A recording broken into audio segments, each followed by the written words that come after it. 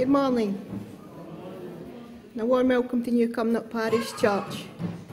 Well, we know winter's creeping in because that's strictly started. Intimations are on your intimation sheet. Um, can I just extend thanks to everyone who came to the Songs of Praise on Tuesday afternoon for Guild Week. It was a great afternoon sharing fellowship together. And also, um, thanks to those who organised the trip on Wednesday to Arran. Apparently everybody really enjoyed their time together. And it was a new place for a few people there also. Intimations, um, the quiet time um, with the Reverend Ken will start again on Thursday. So from 11am until 12 you can come for a quiet time and a prayer here in the church. And I would just encourage you to read all the other intimations this morning.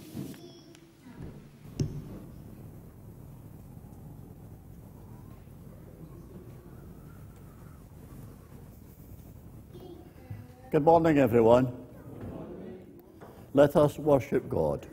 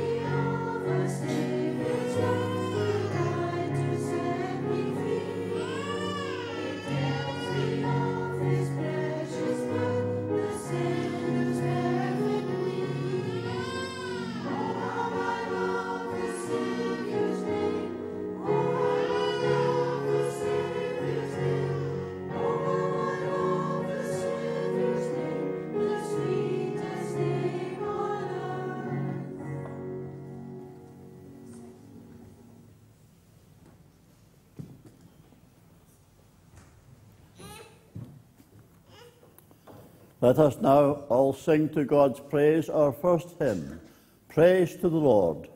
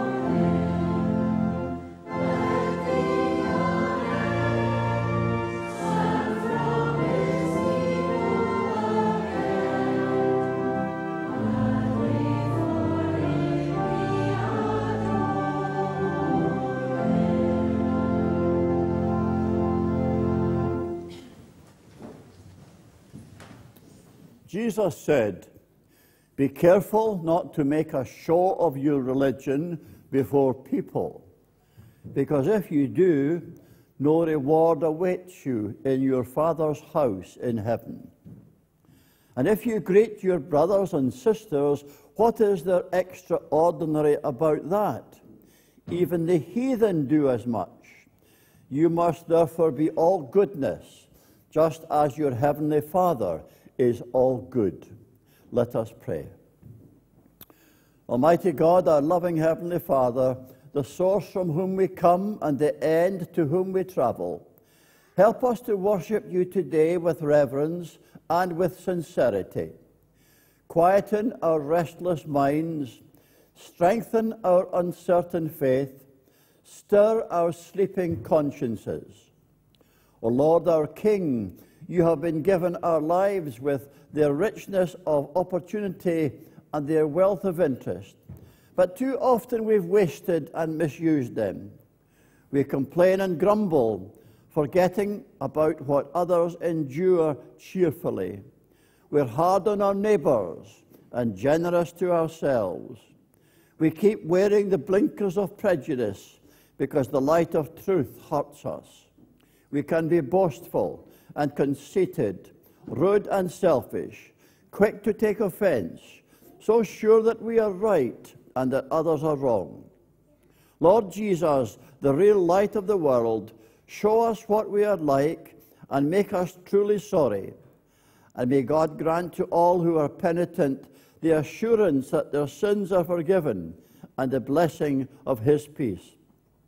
Almighty God, without whom we are weak and helpless, be with us in our daily lives. We pray for faith, for faith in the creative love by whom the world was made, for faith in the divine purpose and action shown to us in Jesus, for faith in his church, which the forces of death shall never overpower. Lord, give us faith. And we pray for hope, for hope that good will triumph over evil truth over falsehood, beauty over ugliness, for hope that people will never think themselves too strong to depend on God, for hope that our present trials are the birth pangs of a new and a better order. Lord, give us hope. And we pray for love, for the love which is very patient, very kind, for the love which delights in the truth, for the love which has no limit to its faith, its hope, its endurance. Lord, give us love. And hear us now as we pray together in the words of Jesus our Lord, saying, Our Father, who art in heaven, hallowed be thy name. Thy kingdom come, thy will be done on earth as it is in heaven. Give us this day our daily bread, and forgive us our debts as we forgive our debtors and lead us not into temptation, but deliver us from evil. For thine is the kingdom, and the power, and the glory forever. Amen. Boys and girls, it's good to see you this morning in church. I think you'll agree with me that it's quite nice to have something that's new.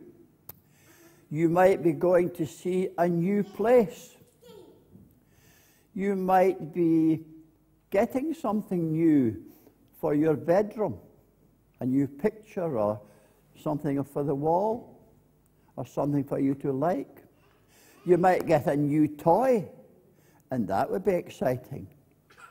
Well, a long time ago, Mr. York got something new. When I was leaving Millington, and I was leaving the Sunday school there, the boys and girls got me something new.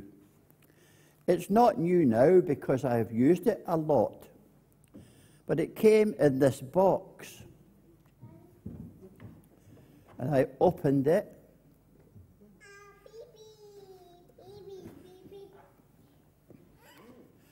And then I opened the box.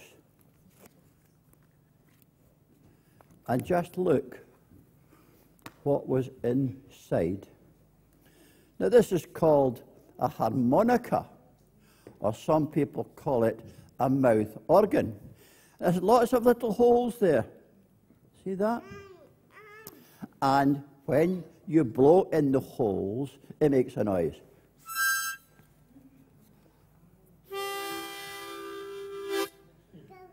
It makes a noise. And when you blow to the left hand side, these are low notes. When I blow to the right hand side, these are high notes. Now, fortunately, I had been speaking in the church about the mouth organ, and maybe that's why the boys and girls got, got it for me. But when I was a little boy, when I was a little boy, somebody bought me a mouth organ at Christmas time. And I used to take it to bed every night. I kept it under my pillow. And I used to try to play it.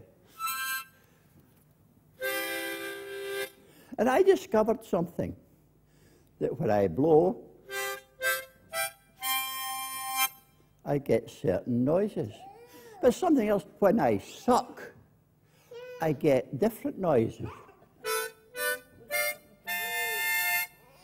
And then I worked out I could play what musicians call a scale.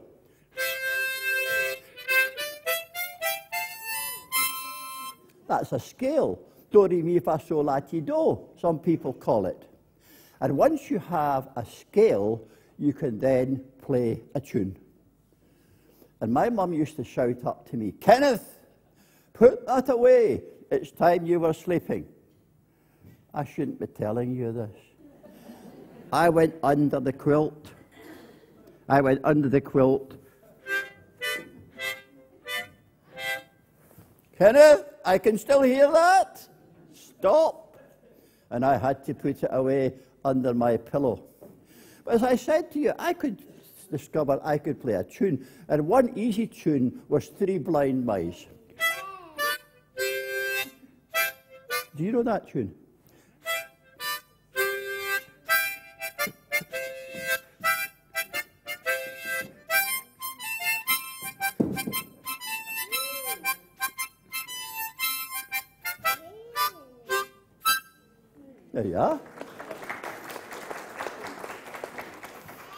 Boys and girls, I only learned to play the mouth organ because I practiced.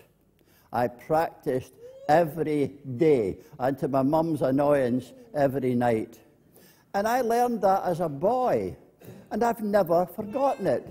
It's like learning to ride your bicycle without stabilizers. When you can do it, you can always do it. And even if you stopped riding a bicycle for 20 years, you could go back in 20 years' time, I'm sure, and still ride a bicycle. I would like to think that everybody hopes that they could be a good person. I would like to think that everybody thinks that they could be a kind and caring person. Deep down, I think most people have that feeling.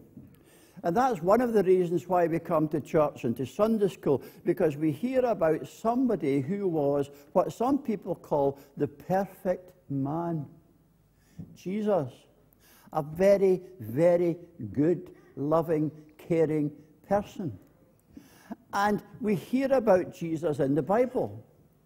And when we go to the Bible, the Bible tells us how we can be good and loving and caring it also tells us, though, that when we do go wrong, and we all go wrong sometimes, everybody goes wrong sometimes, if we ask Jesus to forgive us and to help us to be better, that's what happens in the future if we really try to do it.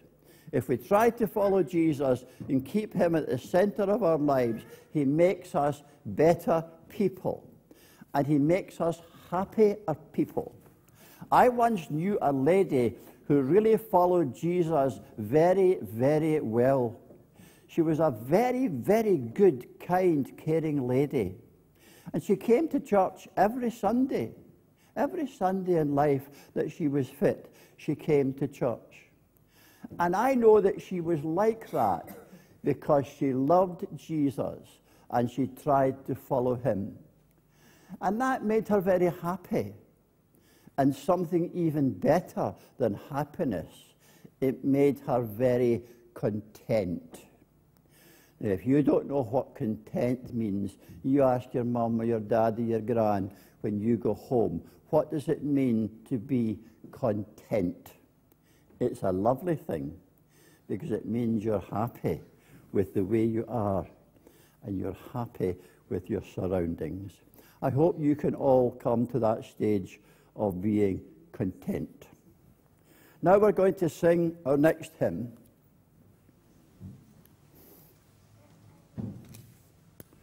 Which is, Let us with a gladsome mind. Sorry, let us with a gladsome mind.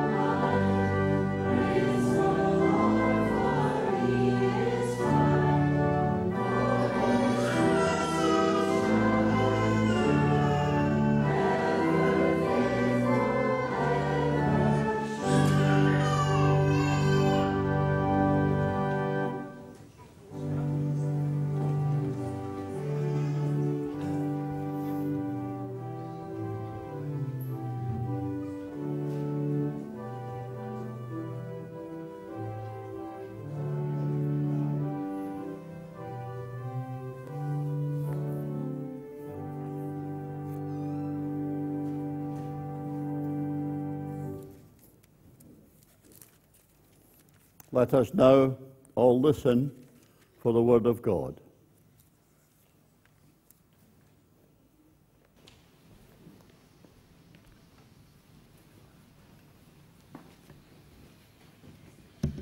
Our first reading is from Psalm 24, verses 1 to 6. Of David, a psalm. The earth is the Lord's and everything in it, the world and all who live in it. For he founded it upon the seas and established it upon the waters. Who may ascend the hill of the Lord? Who may stand in his holy place? He who has clean hands and a pure heart, who does not lift up his soul to an idol or swear by what is false he will receive blessings from the Lord and vindication from God his Saviour.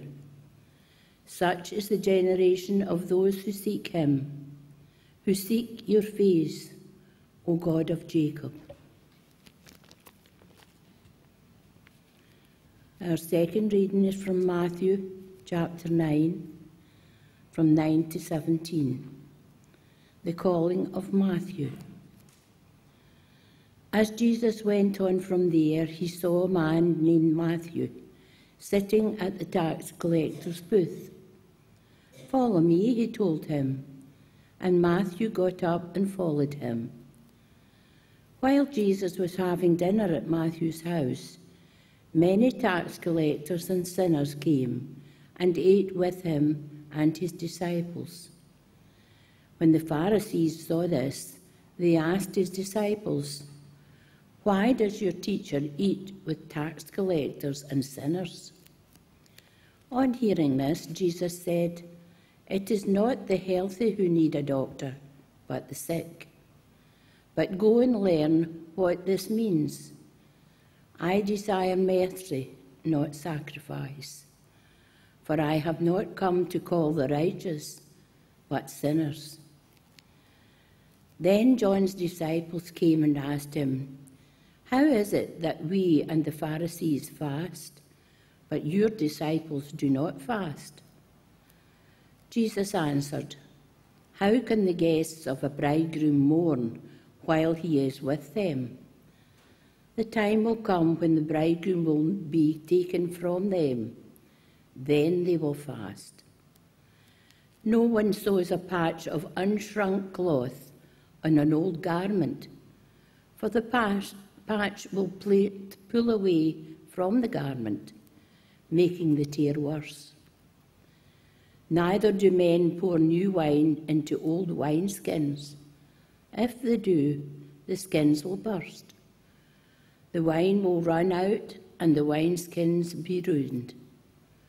No, they pour new wine into new wineskins, and both are preserved. Thanks be to God for his word to us today. Amen.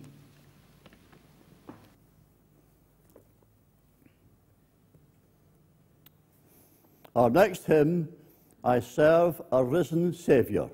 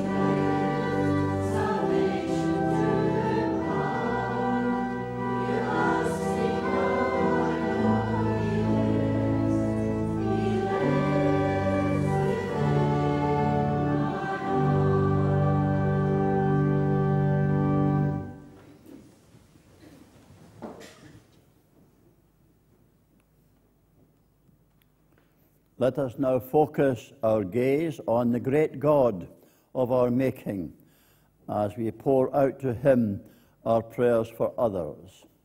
Let us pray. Lord of everyone, give your church such maturity and wisdom that we may not be swayed from our purpose and calling by trivialities or worldly pressures, but know increasingly our dependence on you in all things and pro- proclaim your gospel with steadfastness and joy. You, O Lord, are the ground of our being. Lord of everyone, give to all monarchs, leaders, and heads of state graciousness and integrity, that all in power and authority may undertake their duties in a spirit of humility, that the oppressed may find a voice, and the nations work together for the good of the whole world. You, O Lord, are the ground of our being. Lord of all, give to our homes and places of work and leisure your harmony and your peace. Give us grace to respect one another and ourselves in the way we talk and think and in the way we behave. You, O Lord, are the ground of our being. Lord, we pray for our guild as they begin a new session of their work. We remember all guild members in Scotland, seeking your blessing upon them in this coming session. And we pray especially this morning for our own guild and their leaders, that your Holy Spirit might inspire them and encourage them to follow you and to remember whose they are and whom they serve. You, Lord, are the ground of our being. Lord of all, speak your peace into the hearts of all who are agitated, anxious, or confused. Lay your hands of healing on all who are ill, and let them know your reassurance and your love. As now we remember those known to us who are in need today.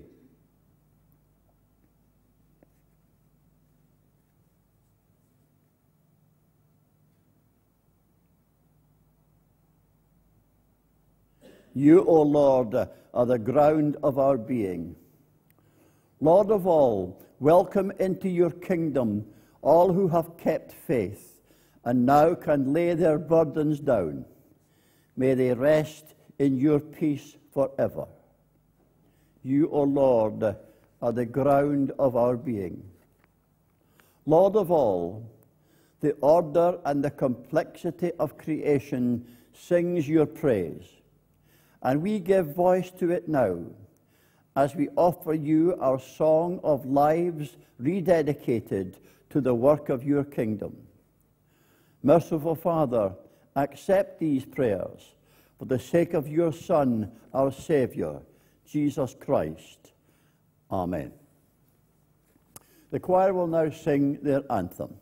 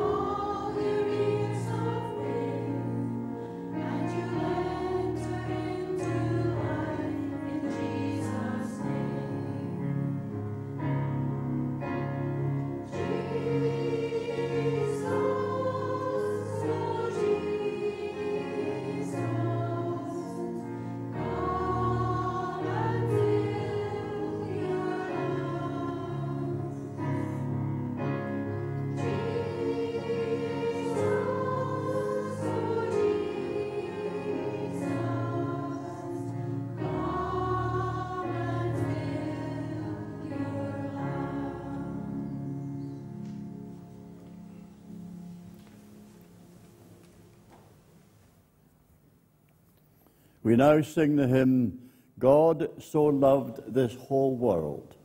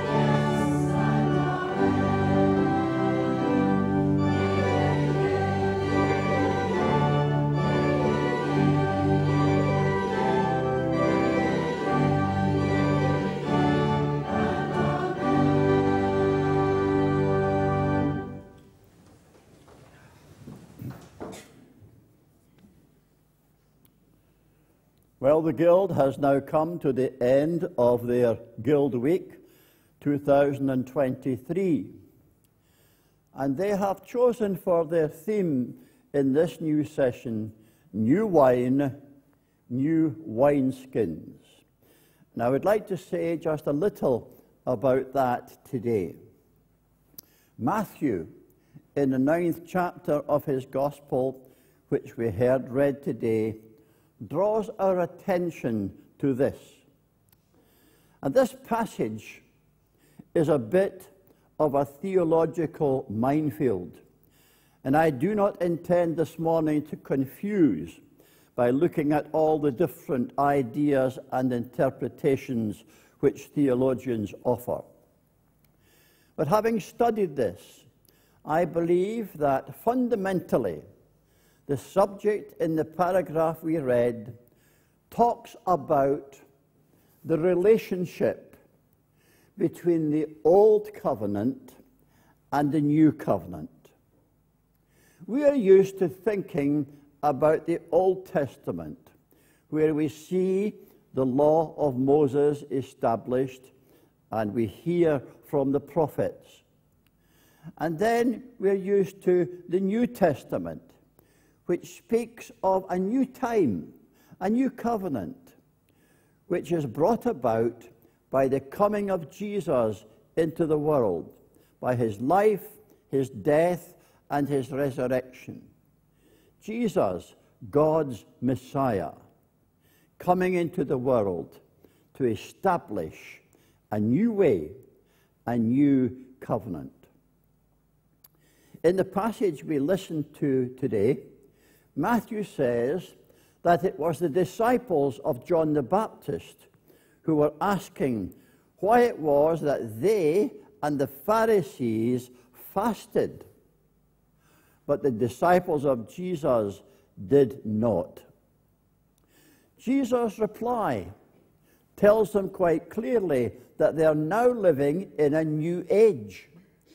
The old age of strict obedience to the law has gone, and a new age of fulfilling the will of God under the direction and assistance of the Holy Spirit is now here.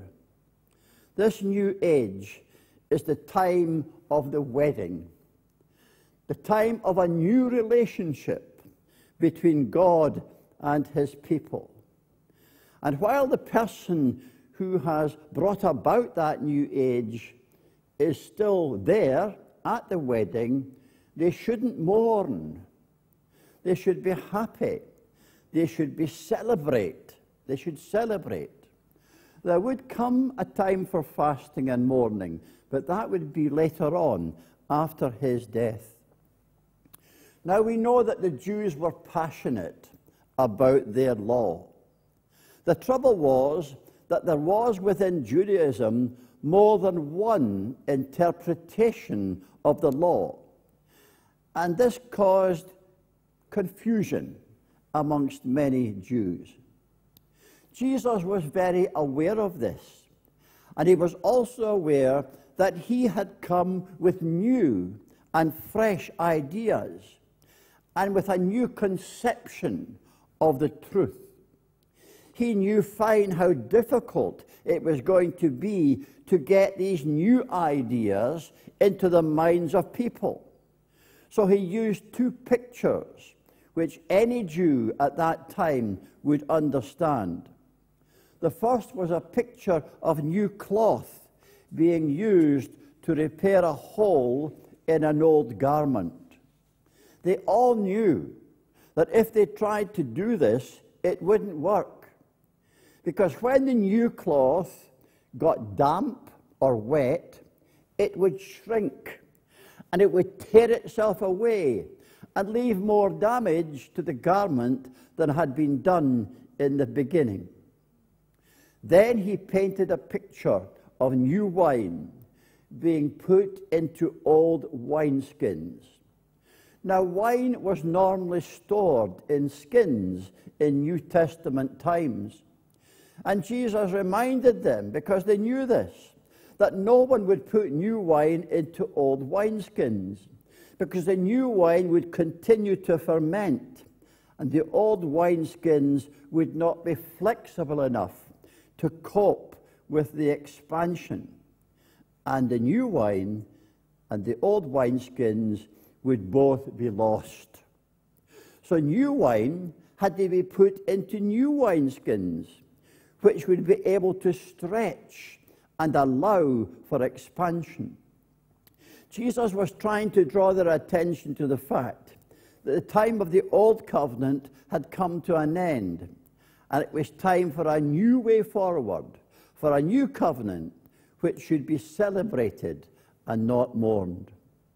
Now, it's important to recognize here that Jesus wasn't trying to do away with the old law. He said this himself. And he went on to say that he had come to fulfill it. Jesus was always able to see through the text of the law, to the reason for its existence, to its purpose, and its intended fulfillment. In his commentary on this passage, William Barclay, that great theologian of the last century, says this Throughout all its history, the church has clung to the old. What Jesus is saying is that there comes a time when patching is folly, and when the only thing to do is to scrap something entirely and to begin again. There are forms of church government. There are forms of church service. There are forms of words expressing our beliefs which we so often try to adjust and tinker with in order to bring them up to date.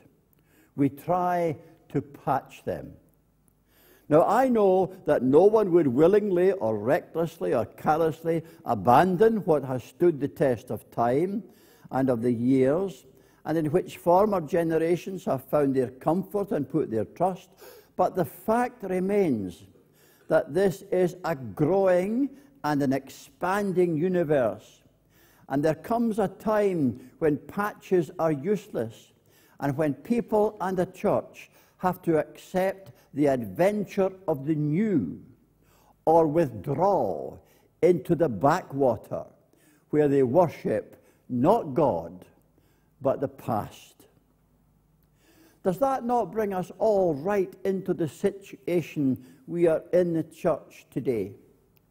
In Scotland, I know there is a sense in which our church has been forced into this situation for historical reasons, where we have fallen heir to too many buildings, by diminishing finances and human resources having been unable to find a necessary number of people to offer themselves for the position of ministry of word and sacrament, then to find ourselves with insufficient income to pay all these people, even if we could find them. In addition, due to rising costs of repairing old buildings, which are often unsuitable in design and structure for modern ways of worship, which may now involve digital technology.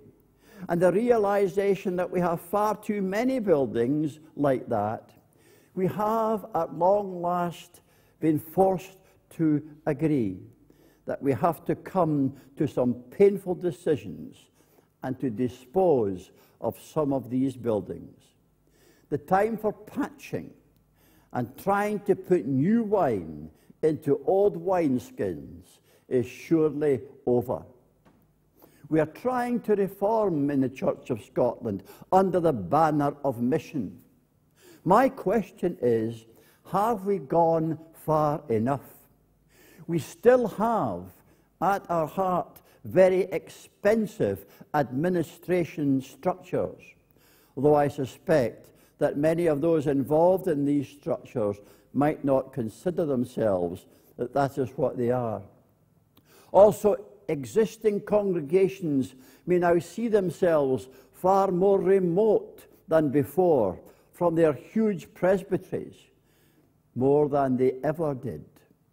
Hopefully, our new way forward will evolve and will change and will be adapted and adjustments will continue to be made.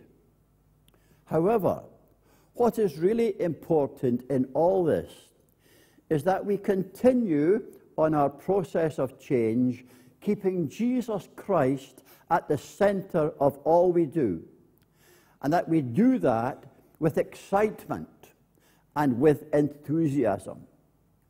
No one of us likes change, but we must not allow this current process of change to discourage us in the faith. I know some members of the Church of Scotland who, when hearing that their church building was to be disposed of, have left the church and they've stopped worshipping. They don't worship anywhere. That kind of action surely begs the question what were they really worshipping? After all, do we not worship and serve the one, Jesus Christ, who does not change? He is the same yesterday, today, and forever. And he calls us to serve him in a changing world. And we must continue to be led forward, supported and encouraged by the Holy Spirit to find and work in ways that will spread the good news of Jesus in our modern, God rejecting society. We must therefore proceed through this time of change with Jesus at the center of all our thinking and our planning and our worshipping.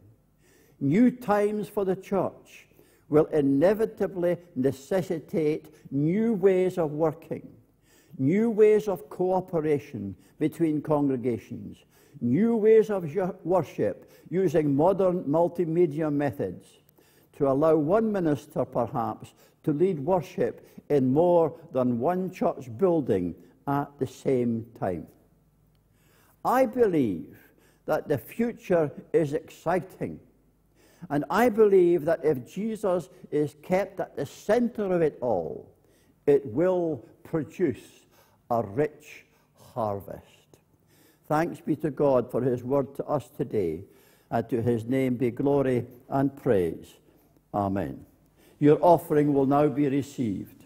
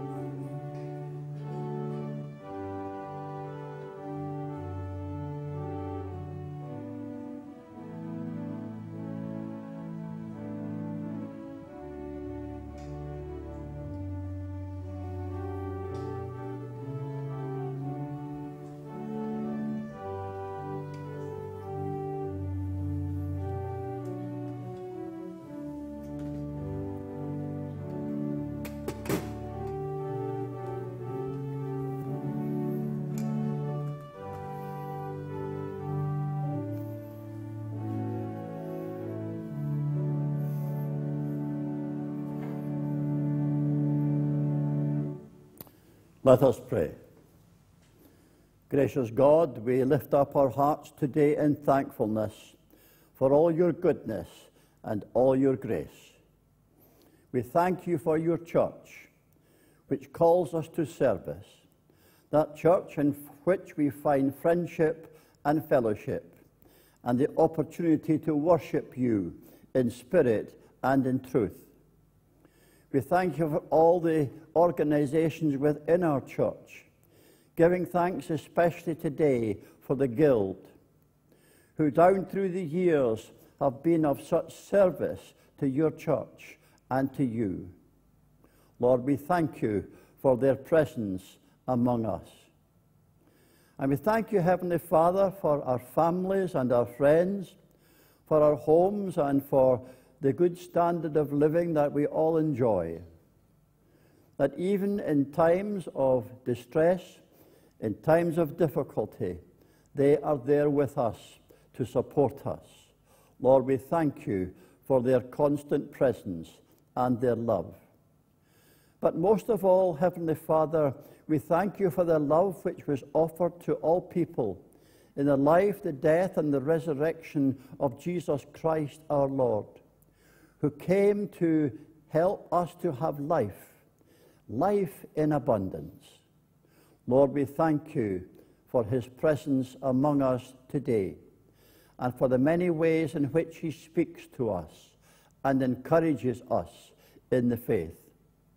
And as a token of our love, we place upon this table these our gifts, praying that you will accept them and bless them, that they may be used for the purposes of love within this congregation, within our parish, and beyond.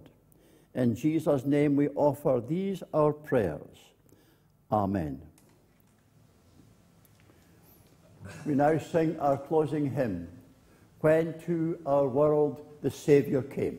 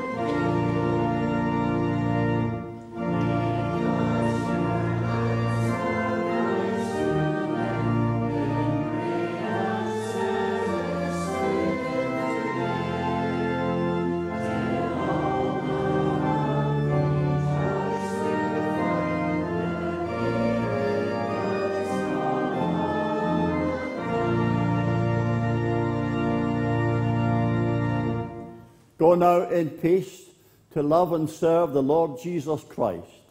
And may the blessing of God, the Father, the Son, and the Holy Spirit rest and remain with you and with all those you love, today and always.